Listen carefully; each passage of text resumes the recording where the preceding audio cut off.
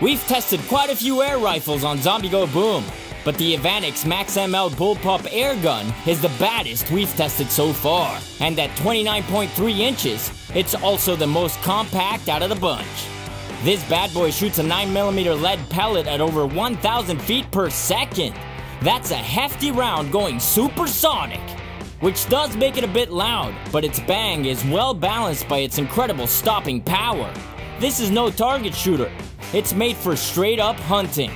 Reloading is a breeze with its 7 round magazine and side cocking action. It also comes with a Picatinny rail for whatever optics you prefer, which you will be able to afford because you'll be saving some serious ammo cash as you can buy 100 rounds for only 20 bucks.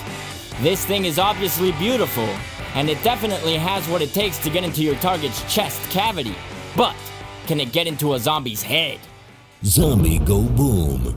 Kick undead ass. You saw us try an elite level airsoft gun against a zombie, then we tried a high velocity 22 caliber air gun against the zombie. Now it's time to bring this bad daddy into the action. It's the Evanix Max ML Bullpup PCP 9mm air gun, and it probably has what it takes to kill a zombie. But just to make sure, let's find out.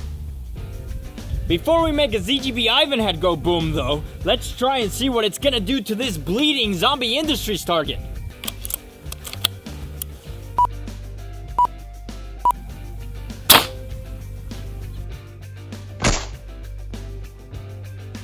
Let's see if we can make a zombie go boom.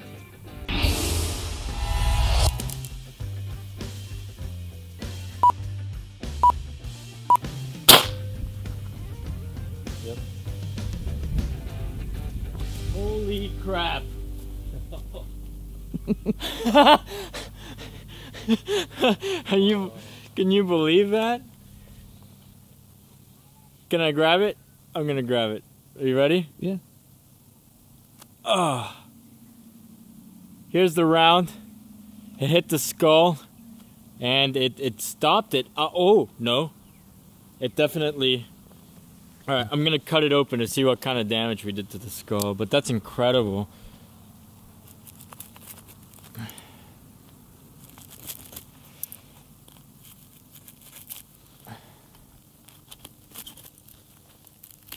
Alright.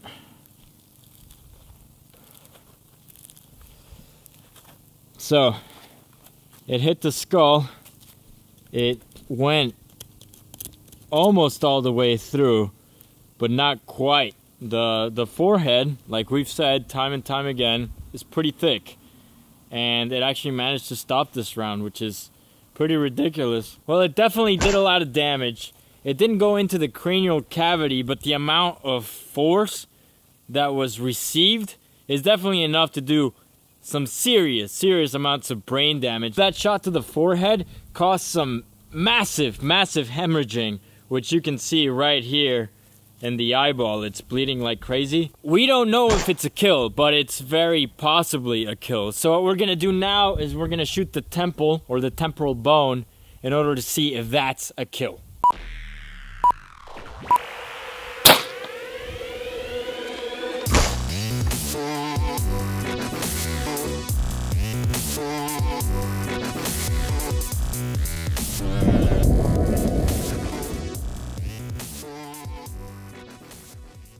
Entry wound right here.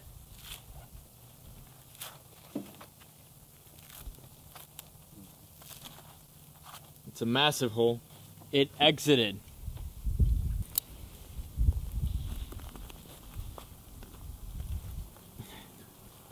It shot bone all the way through the cranial cavity. Look at that. That is a massive. Oh my god. That is a massive exit wound.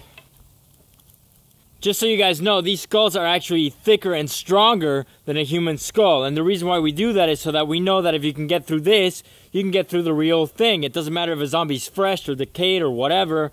If you can destroy an Ivanhead, you are prepared.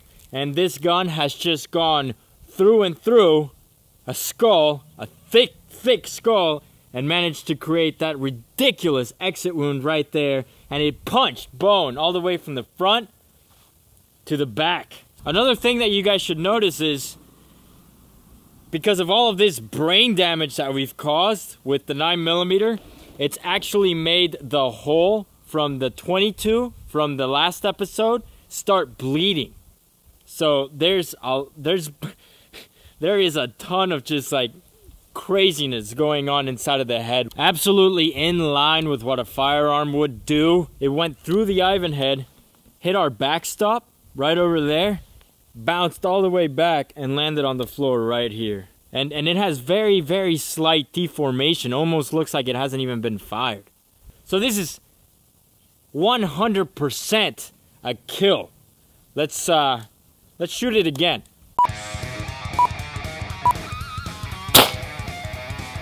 Right here.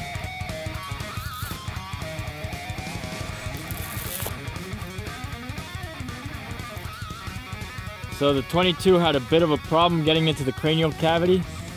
This 9, no problem whatsoever.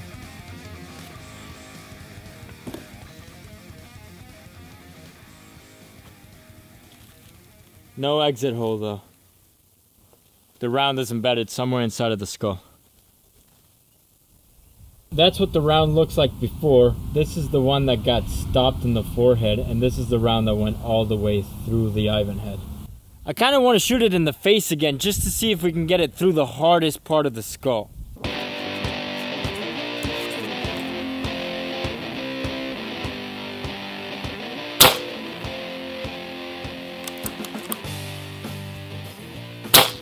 Ow.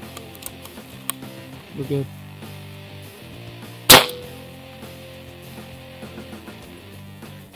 It hit my elbow. What? You Yeah. got hit with a bullet?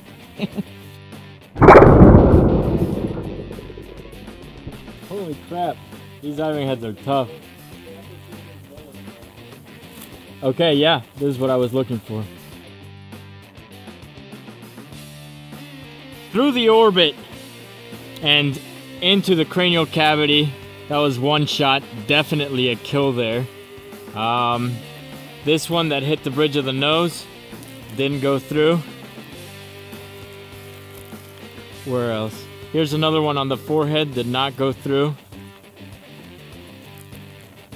And here's one I just found that uh, was probably this one, and it got lodged somewhere in the in the right orbit, but uh, it didn't go through. All right, so we're gonna be doing a breakdown where we talk about the damage that Ivan sustained from that air gun. But in order to do that adequately, we kind of have to do an autopsy, executioner style, which means we have to cut this head open and look inside of it. Well, what better weapon to do that with than this Executioner 2.0 prototype, which you can pre-order, by the way, by clicking on the link in the description below.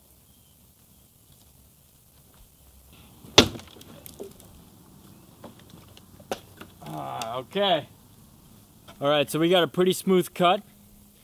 Here's the cranial cavity, and here's the skull. Thicker than a human skull, harder than a human skull. So all the damage that you saw here is nerfed a little bit just because we want to make sure that what we test does the job. So I'm going to scoop out the blood from this Ivan head. I'm actually just going to spill it out. Here you go, Nate. Thanks, dog. All right. All right, so we got some rounds here. At least one of them we were able to recover. You can see that the round is deformed a lot. It has a lot of just notches and nicks, and that means that the round bounced inside of the head quite a bit before coming to a halt. The front of the cranial cavity right here is completely cracked. It has openings and just it's broken all over the place. And even if the round didn't go inside of it, it created an incredible amount of brain damage, an incredible amount of hemorrhaging, and possibly a zombie kill, even though the round didn't penetrate very far at all. And I just cut myself on the skull. You see that hole? Mm-hmm. That's the one that went to the back of the head, all the way in.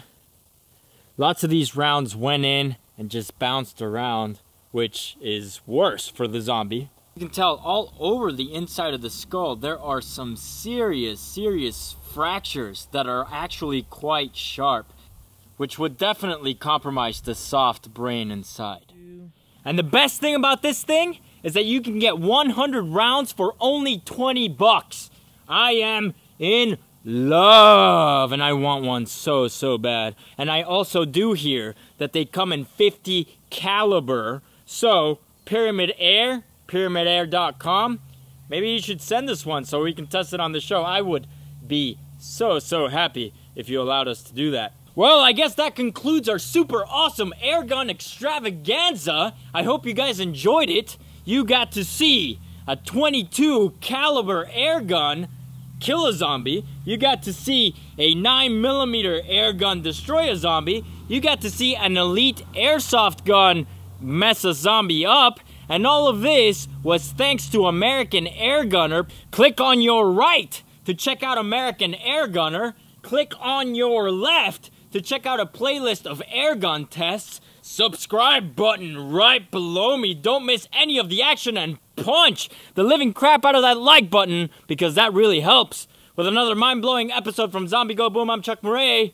We will see you next time.